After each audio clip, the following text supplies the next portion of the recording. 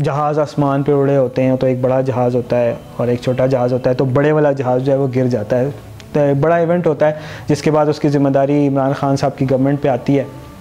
और लोग यही कहते हैं कि ये इमरान खान साहब की वजह से हुआ है तो उन्हें इस्तीफ़ा देना चाहिए तो उसके बाद इमरान खान साहब एक कोई बड़ा इवेंट होता है, उसके बाद। अल्लाहु अल्लाहु अल्लाहु, अल्लाह। अज़बिल्लिमिनशैतरजीम बसमीम अस्सलाम या मोहम्मद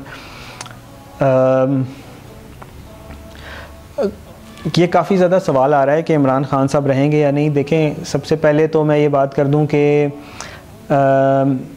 इस पॉलिटिकल सिस्टम से ना कोई मेरा ज़्यादा इसमें इंटरेस्ट है और ना ही मुझे इससे कोई होप है। तो इमरान ख़ान साहब आएँ, जरदारी साहब आएँ, बिलावल साहब आ जाएँ सराजुल हक साहब हों फजल रहमान कोई भी आ जाए जब तक ये डेमोक्रेसी का सिस्टम चल रहा है ना इससे कोई खैर की उम्मीद नहीं है इससे कोई भी अच्छी चीज़ बरामद नहीं होनी। तो दूसरी बात इमरान खान साहब की बात तो देखें फ्यूचर तो अल्लाह ताला ही जानता है।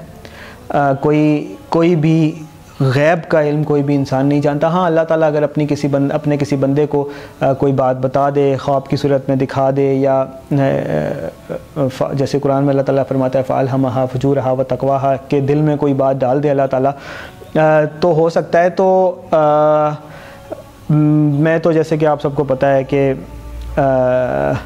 मैं तो कोशिश यही करता हूँ कि अव्वल तो किसी ऐसे मामले में बात ही ना की जाए जिससे मेरा ज़्यादा कंसर्न नहीं है या जिससे कोई फितने का ख़तरा है। और अगर की भी जाए तो कोशिश यही होनी चाहिए कि बात खैर की हो जोड़ने वाली हो तोड़ने वाली ना हो। तो जहाँ तक बात है इमरान ख़ान साहब की आ, मैं तो इंस्पिरेशन लेता हूँ मोहम्मद कासिम बिन अब्दुल करीम से नॉट बिकॉज़ के मैं एज अ पर्सन या उनको कोई कोई आ, उस तरह ब्लाइंडली फॉलो करता हूँ इट्स ओनली बिकॉज़ के आ, मैं ये समझता हूँ कि मुझे नबी मुकरम सल्लल्लाहु अलैहि वसल्लम की तरफ़ से डायरेक्ट इशारा मिला है इस काम के लिए। तो मोहम्मद कासिम को मैं रिप्रेजेंट नहीं करता मैं ये नहीं कह सकता कि उन्होंने ऐसे कहा तो ऐसे हुआ या नहीं हुआ। मैं सिर्फ़ उनसे इंस्पिरेशन लेता हूँ। तो जैसे आप सब भी या कोई भी ले सकता है। तो अगर उनके ड्रीम्स के कॉन्टेक्स्ट में देखे जाएँ तो आ, उनके ड्रीम से ये अंदाज़ा होता है कि इमरान ख़ान साहब कोई बड़ा इवेंट होता है। वो उनका एक ड्रीम है ना वो आ, क्या डेट है उसकी? जिसमें एक जहाज़ आसमान पे उड़े होते हैं तो एक बड़ा जहाज़ होता है और एक छोटा जहाज़ होता है तो बड़े वाला जहाज़ जो है वो गिर जाता है।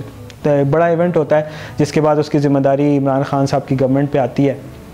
और लोग यही कहते हैं कि ये इमरान खान साहब की वजह से हुआ है तो उन्हें इस्तीफ़ा देना चाहिए तो उसके बाद इमरान खान साहब एक, कोई बड़ा इवेंट होता है, उसके बाद वो इस्तीफ़ा दे देते हैं।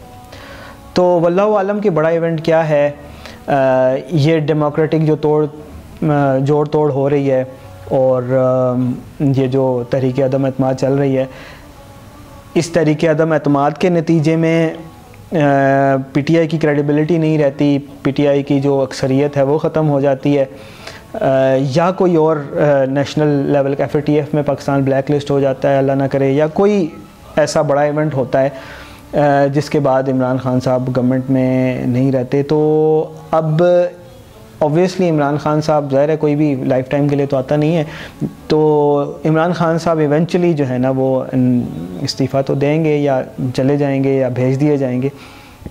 ये अभी होता है या बाद में होता है ये अल्लाह ताला बेहतर जानता है। लेकिन ये ज़रूर है कि वो जो आ, उनका एक और ख्वाब है मोहम्मद कासिम के ने ख्वाब में देखा था कि इमरान खान साहब को तीस फ़ीसद वक्त मिलता है और उसके बाद इमरान खान साहब नाकाम हो जाते हैं। तो वो तो बहुत पहले हो गया था कि इमरान खान साहब डेढ़ दो साल के बाद ये बिल्कुल क्लियर हो गया था कि इमरान खान साहब से जो एक्सपेक्टेशंस थी वो पूरी नहीं हो सकी और वो प्रैक्टिकली फेल हैं। जो पाकिस्तान में चेंज आना था, पाकिस्तान ने तरक्की करनी थी, बाहर से लोगों ने नौकरियों के लिए पाकिस्तान में आना था करोड़ों नौकरियाँ दी जानी थी, लाखों घर बनाए जाने थे, कोई भी वादा पूरा नहीं हो सका, महँगाई कम होनी थी। बल्कि फ्रेंकली स्पीकिंग मतलब मुझे शायद ये बात नहीं करनी चाहिए कि हमने भी इस मुल्क में वक्त गुजारा है कि जब नून लीग की हुकूमत होती है ना तो ऐसे लगता है कि कम अज़ कम कोई मैनेजमेंट तो है, कोई डिसिप्लिन तो है, कोई हुक्मरान शायद मौजूद तो है। इसी तरह जो पीपल्स पार्टी की हुकूमत है, उसका भी एक ख़ास वाइब होता है अवाम में। वो नेगेटिव भी होता है कुछ अच्छा तो नहीं होता। जरदारी साहब की जो हुकूमत थी ना तो उसमें ऐसे लगता था कि लॉलेसनेस है। कोई पूछने वाला नहीं है जो जो करता है, करता रहे। बिजली बंद है तो बंद ही है, पानी नहीं आ रहा तो नहीं आ रहा, चीनी महँगी हो रही तो नहीं आ रही, ऐसे बस हुकूमती सतह पे वज़ी अजम चेंज हो रहे हैं, ये हो रहा है, वो हो रहा है, जरदारी साहब खामोशी से सदर बने हुए चल रहा है। मतलब रोड ब्लॉक्स हो रही होती थी तोड़ फोड़ हो रही होती थी, लेकिन हुकूमत नाम की कोई चीज़ नज़र नहीं आती थी हमें। तो ऑलमोस्ट वैसा ही हिसाब है। लगता ही नहीं है कि मुल्क में इस वक्त कोई हुकूमत है। हमें जो सबसे ज़्यादा चीज़ कंसर्न करती है तो वो क्या है? पेट्रोल पहले इतने रुपए महँगा करके फिर जब ये जोड़ तोड़ की बारी आई तो थोड़े दिन के लिए कम कर दिया है। तो वो सारा आवाम भूल गए कि जो पहले इतना बार बार महँगा हो रहा था। तो फिर इसी तरह जो रोज़मर्रा अशिया हैं इस्तेमाल की, वो इंतहाई महँगी हैं। फिर, जो एक एक मैनेजरियल एडमिनिस्ट्रेटिव डिसिप्लिन पंजाब में खसूस शहबाज शरीफ साहब की हुकूमत में नज़र आता था, उसका नामो निशान नहीं है। गलियाँ गंदी हैं तो गंदी हैं, रोडें टूटी हुई हैं तो टूटी हुई हैं। बिल्कुल यानी कि एक ऐसे लग रहा है कि जैसे बस बेबसी है ऐवान इकतदार में। तो आवाम को ये चीज़ समझ लेनी चाहिए कि किसी भी हद तक तकलीफ़ या परेशानी आए या किसी भी हद तक हुक्मरान जो हैं वो बेबस नज़र आए, आवाम का ये काम नहीं बनता कि वो तोड़ फोड़ करें या हुक्मरानों के ख़िलाफ़ खड़े हों या हुकूमतों को बाय फोर्स या या हुकूमतों के ख़िलाफ़ खड़े होकर कोई वो लें। सब्र करना चाहिए क्योंकि जब आप हुकूमतों के ख़िलाफ़ खड़े होते हैं तो अवामी सतह पर क्यास आता है और उससे फ़ायदा होने के बजाय ज़्यादा नुकसान होता है। अरब स्प्रिंग की आप एग्ज़ाम्पल देख लें। कितने मुल्क हमारे हाथों से चले गए, सिर्फ़ इसलिए कि लोग जो हैं वो हुकूमतों से तंग आ गए थे और अपनी हुकूमतों के ख़िलाफ़ खड़े हो गए थे। तो in any case Imran Khan साहब ये मैं अपनी तजिए से ये बात कह रहा हूँ कोई दावा नहीं कर रहा और ये कोई कोई प्रडिक्शन नहीं है। आ, मेरा तजिया यही है कि इमरान ख़ान साहब से कुछ भी नहीं होना ना ही कोई चेंज आना है। जब तक इन्होंने अपनी हुकूमत को घसीट लिया सो घसीट लिया अभी चले गए तो चले गए नहीं तो चंद हफ़्ते महीनों बाद चले जाएँगे।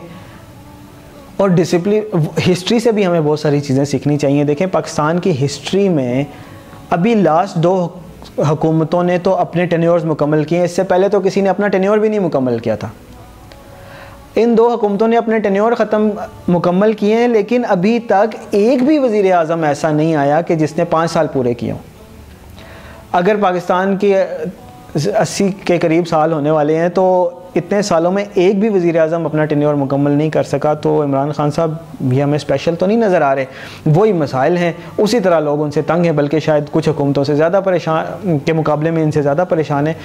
तो there is hardly any chance कि इमरान खान साहब भी अपने पाँच साल पूरे करें। हुकूमत पाँच साल चले या ना चले, क्योंकि अब पहले दो हमारे पास हिस्ट्री आ गई है कि दो हुकूमतें चली हैं पाँच पाँच साल तो लेकिन इमरान खान साहब के बहुत कम चांस हैं पाँच साल चलने के। तो इन एनी केस आवाम को ये चाहिए कि इमरान ख़ान साहब से उम्मीद रखने के बजाय आर्मी से इस्टेबलिशमेंट से पीपल्स पार्टी से, नून लीग से, रिलीजियस लीडर्स से, किसी से भी उम्मीद रखने के बजाय सिर्फ़ अल्लाह से तवक्ल अल्लाह से उम्मीद रखें, वही हमारे हालों को बदलने वाला है। वमैया तवक्ल फ़हुआ हसब, क्योंकि जो अल्लाह ताला के ऊपर तवक्ल कर लेता है, अल्लाह ताला के ऊपर यानी अपनी सारी की सारी उम्मीदें अल्लाह से लगा लेता है तो फ़हुआ हसब, अल्लाह ताला ज़रूर उसके लिए काफ़ी हो जाता है। यही हमारा काम बनता है कि जब हम अल्लाह ताला से उम्मीद लगाएँगे तो इन फिर अल्लाह ताला हमारी मदद फरमाएगा और इन हम वो दिन पाकिस्तान में देखेंगे कि यहाँ पर अल्लाह ताला की मदद व नुसरत होगी, खैर ही खैर होगी, कोई परेशान हाल नहीं होगा और पाकिस्तान की हाँ और ना में आलम के फ़ैसले हो रहे होंगे इन